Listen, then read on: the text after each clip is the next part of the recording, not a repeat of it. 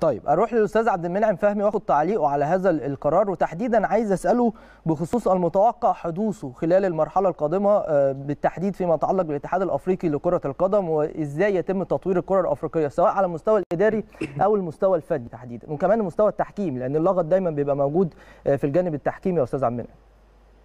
والله أنا شايف إن المرحلة مرحله أحمد أحمد كانت مرحلة عصيبة للغاية وكانت مرحلة سيئة جدا للكرة الإفريقية. أوه. وشايف إن كانت في قرارات بتحكمها لا يحكمها الملعب ولا يحكمها الحكام ولكن كان تحكمها العوامل أخرى وعوامل خارجيه شفنا قرارات غريبة جدا شفنا تحكيم هو الأسوأ في تاريخ القارة الإفريقية. أتمنى أن تكون المرحلة المقبلة.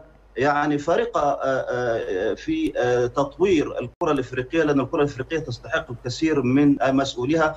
أشعر أن الكرة الإفريقية تمتلك من الإمكانات الفنية والمادية والبشرية الكثير ولكن لا تجد من يحنو عليها من المسؤولين وده شيء مع الأسف الشديد غريب جدا. المفروض يكون عندك مسؤولين يكونوا يهتموا بالكرة الإفريقية أكثر من اهتمامهم بأنفسهم.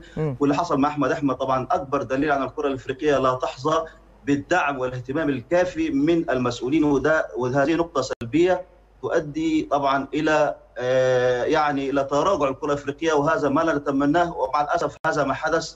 وخلال المرحلة المقبلة نتمنى أن يعني خلينا نتمنى ونقول إن أهم شيء في القصة إنه المسؤول الإفريقي اللي جاي يكون عنده القابلية والدافعيه والرغبة الشديدة في التطوير وليس في البحث عن مصالح شخصية، المصالح الشخصية لا تدوم يا أمير، المصالح. الشخصية دائما تؤدي بصاحبها إلى ما آل إليه أحمد أحمد.